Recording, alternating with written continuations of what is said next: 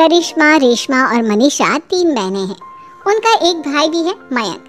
मयंक अपनी बहनों को बहुत प्यार करता है। लेकिन मयंक की पत्नी सविता इस मामले में मयंक से बिल्कुल ही अलग है। वो अपनी ननदों का जितना बुरा कर सकती है, उतना बुरा करती ही रहती है और अपनी ननदों पर हुक्म भी चलाती है। करिश्मा! करिश्मा! तुमने अभी तक नाश्ता नहीं बनाया? तुम्हारे भैया को ऑफ़िस जाने में देर हो रही है। हाँ भाभी, बस अभी बनाती हूँ। करिश्मा तुम ये ढीलापन छोड़ दो। कल को पराए घर जाना है। वहाँ अगर तुम इस तरह से काम करोगी तो लोग क्या कहेंगे? कि माँ ने और भाभी ने कुछ सिखाया नहीं। और तुम्हारी दोनों बहनें कहाँ हैं? रेशमा मार्केट गई है और मनीषा सो रही है। क्या? सुबह के आठ बज रहे हैं और ये महारानी अभी भी सो रही है? ये कहते हुए सविता अपनी सास दुर्गा देवी के पास जाती है। माँ जी देख रही हो अपनी बेटियों के तौर तरीके? क्या हुआ बहू? सुबह सुबह क्या कर दिया मेरी बेटियों ने? अरे, एक तो अभी अभी उठकर किचन में गई है, दूसरी सुबह सुबह बाहर चली गई, और तीसरी अभी तक सो रही है। क्या करूँ मैं इन तीनों का? मैं तो परेशान हो गई हूँ। जा, जाकर उठा उसे, और रेशमा से मैं बात करती हूँ। सविता सीधा मनीषा के कमरे में जाती है और उससे कहती है महारानी जल्दी उठो, सूरज सर पर आ गया है। भाभी, थोड़ी देर और सोने दो ना। मैं रात को लेट सोई थी। वो क्या ना यूनिट टेस्ट चल रहे हैं। शराफत से उठती है या नहीं? या फिर पानी की भरी बाल्टी डालूं तेरे ऊपर? नहीं नहीं भाभी, मुझे बिस्तर में नहीं नहाना, उठती हूँ मैं। मनीषा जल्दी से उठकर बाथरूम में चली जाती है। सभी आराम से बैठकर नाश्ता कर रहे होते कि तभी रेशमा बाज़ार से हाथ में सामान लिए आ जाती है। रेशमा को देखते ही सविता उस पर बरस पड़ती है। लो, आ गई महारानी। ऐसा भी क्या सामान लाना था, जो सुबह आँख मलते ही बाज़ार की तरफ़ रवाना हो गई? भाभी, कल आप ही तो चीख रही थी कि घर का सारा सामान मुझे ही लाना पड़ता है। घर में किसी को भी किसी काम से कोई लेना देना नहीं है। अब मैं बाज़ार जाकर सामान ले आई तो आपको इस बात से भी तकलीफ़ हो रही है? देख रही हो माँ जी, अपनी बेटी की ज़ुबान। कैची से भी तेज चलती है। और मयंक आप आप तो कुछ कहेंगे नहीं अपनी लाडली बहन को। रेशमा, अपनी भाभी से ऐसे बात नहीं करते। चलो माफ़ी मांगो। भैया, मैं क्यों माफ़ी मांगू? आप भाभी से बोलिए ना कि हम पर कम हुक्म चलाया करे। हम इस घर की बेटियाँ हैं और आपकी पत्नी की ननद है, नौकरानी नहीं। लो कर लो बात। इनकी भलाई के लिए कुछ भी बोलो तो इन्हें बुरा लग जाता है। इस घर में यही इज़्ज़त है मेरी। देख लो माँ जी, आपकी बेटी किस लहजे में मुझसे बात कर रही है। सविता वहाँ से चली जाती है। मयंक को बहुत गुस्सा आता है, वो भी वहाँ से चला जाता है। फिर करिश्मा रेशमा को समझाती है। रेशमा, तुम्हें भाभी से माफ़ी मांग लेनी चाहिए थी ना? लेकिन दीदी, मैंने कुछ किया ही नहीं। तो मैं माफ़ी क्यों मांगू? हाँ क्या रेशमा दीदी। रेशमा दीदी जैसे ही घर में आई, भाभी ही उन पर चिल्ला रही थी। हाँ मैं मानती हूँ कि गलती भाभी की थी। मैं तो इसलिए बोल रही हूँ कि भाभी ने माँ को तो पूरी तरह अपने वश में कर लिया है। वो हमारी बात सुनती ही नहीं। मयंक भैया हमारे लिए हमेशा खड़े रहते हैं। इसलिए उनकी बात का मान तो तुम्हें रखना चाहिए था ना? कोई फ़ायदा नहीं दीदी। कुछ दिनों की बात और है। भाभी उन्हें भी हमारे खिलाफ भड़का देंगी। फिर वो भी माँ की तरह हमारी किसी बात का विश्वास नहीं करेंगे। इसी तरह सविता अपनी तीनों ननदों को किसी न किसी बात पर परेशान करती रहती थी। एक दिन मयंक अपनी तीनों बहनों के लिए गिफ्ट लाया। क्या रेशमा, ये तुम्हारे लिए हार का सेट। रेशमा, तुम्हारे लिए सुंदर सी ड्रेस। और मनीषा तुम्हें किताबें पसंद है ना? तुम्हारे लिए किताबें लाया हूँ। थैंक यू भैया। थैंक यू भैया। थैंक यू भैया। करिश्मा तुम्हारा नेकलेस कितना सुंदर है। ये भैया कहाँ से ले आए होंगे? मैंने भैया को तीन दिन पहले फ़ोन पर ये डिज़ाइन दिखाया था और आज भैया ये ले आए। सविता तो अपनी ननदों के गिफ्ट्स देखकर जल गई और करिश्मा का नेकलेस तो उसे भी बहुत पसंद आया था। अपनी बहनों के लिए कितना अच्छा नेकलेस लेकर आए हैं। मुझे कभी कोई गिफ्ट नहीं दिया। मैं आज ही ये हार चुरा लूँगी। रात में सविता करिश्मा का हार चुरा लेती है और इसी तरह उसे अपनी ननदों की जो भी चीज़ अच्छी लगती, वो उसे मांगती नहीं, बल्कि रात के अंधेरे में चुरा लेती।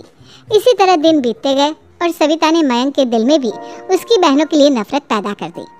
एक दिन मयंक ने करिश्मा और रेशमा के लिए रिश्ता देखा और ये बात उसने घर में सबको बताई। माँ, करिश्मा और रेशमा के लिए बहुत अच्छा रिश्ता आया है।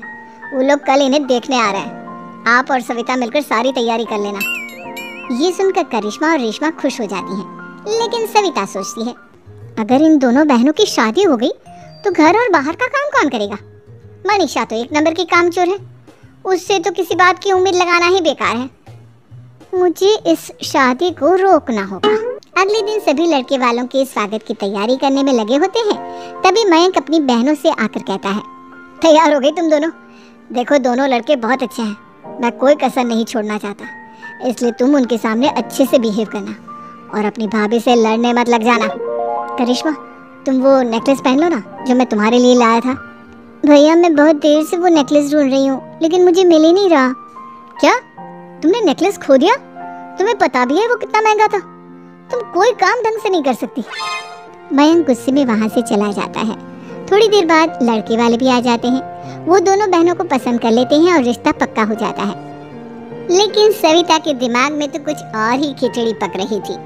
वो पंडित जी के पास करिश्मा की कुंडली लेकर जाती है और उन्हें पैसे देकर करिश्मा की कुंडली बदलवा देती है। जब लड़के वालों के पास करिश्मा की कुंडली जाती है तो वो दुर्गा को फ़ोन करते हैं। बहन जी, हमने करिश्मा की कुंडली अपने पंडित जी को दिखाई थी। आपकी बेटी की कुंडली नहीं, बल्कि दोषों का पिटारा है। देखिए, मैं और मेरे पति इन सब बातों में बहुत विश्वास करते हैं। इसलिए हम आपकी बेटी से अपने बेटे की शादी नहीं करा सकते। इस तरह करिश्मा का रिश्ता टूट जाता है और सभी घर वालों को बहुत दुख होता है। अब कविता सोचती है। चलो, करिश्मा का तो रिश्ता टूट गया। अब रेशमा का भी रिश्ता तोड़ना है। क्या करूँ क्या करूँ? अब सविता आवाज़ बदलकर किसी अननोन नंबर से रेशमा के होने वाले ससुराल में फ़ोन करती है। हेलो मैं कौन हूँ कौन नहीं ये आपके लिए जानना ज़रूरी नहीं। बस इतना सुन लो कि रेशमा का दो साल से किसी के साथ अफेयर चल रहा है। बस रेशमा का रिश्ता तोड़वाने के लिए सविता का इतना कहना काफ़ी था। अब रेशमा का भी रिश्ता टूट गया। मयंक और दुर्गा देवी ने रेशमा को खूब खरी खोटी सुनाई और उससे बार बार उस लड़के के बारे में पूछने लगे। आप दोनों मुझे क्यों परेशान कर रहे हो? अरे कोई लड़का होगा मेरी लाइफ में तो मैं बताऊँगी ना। जब कोई है ही नहीं तो कहाँ से लाऊं मैं कोई लड़का? तो तेरे होने वाले ससुराल वालों को फ़ोन किसने किया था? माँ मैं नहीं जानती किसने फ़ोन किया था। मैं सच कह रही हूँ। मैं तो पहले ही कह रही थी इसकी लगाम खींच कर रखो। लेकिन मेरी सुनता ही कौन है? आप चुप रहिए भाभी। ये सब आपका ही किया धरा है। अब तीनों बहनों को विश्वास हो जाता है कि ये सब उनकी भाभी ही कर रही है। तीनों बहनें अपनी भाभी को सबक सिखाने के लिए एक वकील कर लेती है और घर में हिस्सा मांग देखो भैया माँ बाप की जायदाद में जितना बेटों का हक होता है उतना ही बेटियों का। इसलिए इस घर के चार हिस्से होंगे और हमें अपना हिस्सा चाहिए। मैंने तुम्हारे लिए क्या क्या नहीं किया और तुम इस घर में हिस्सा मांग रही हो? भैया आप और माँ हम बहनों की कोई बात नहीं सुनते हो। और भाभी हमारी शादी नहीं होने देगी, क्योंकि उन्हें लगता है कि आप हमारी शादी में ज़्यादा पैसा लगाओगे। और उन्हें हम जैसी फ्री की नौकरानी कहाँ मिलेगी? तो हम भाभी के साथ तो रह नहीं सकते। हम बहनों को अपना हिस्सा चाहिए। अरे तुम्हें शर्म आनी चाहिए अपने भाभी पर ऐसा इल्ज़ाम लगाते हुए। वो तुम्हारे बारे में कितना सोचती है? हाँ माँ, भाभी हमारे बारे में बहुत सोचती है। दिन रात बस यही सोचती रहती है कि किस तरह से अपनी तीनों ननदों को परेशान करूँ और कभी मुझे पढ़ने भी नहीं देती। दोनों बहनों का रिश्ता भी तो इन्होंने ही तोड़वाया है और रात में हमारे कमरे में आकर हमारी चीज़ें भी चुराती हैं। इसी तरह सविता की तीनों ननदें अपनी बात पर अड़ी रही। अब कोर्ट में तारीख भी शुरू हो गई। जब सविता को लगा कि उसकी तीनों ननद इतनी आसानी से नहीं मानने वाली तो उसने अपने पति और सास को सारी सच्चाई बता दी और अपनी तीनों ननद से माफ़ी मांगी। मयंक और दुर्गा को भी अपनी गलती का एहसास हो गया। अब सविता खुद करिश्मा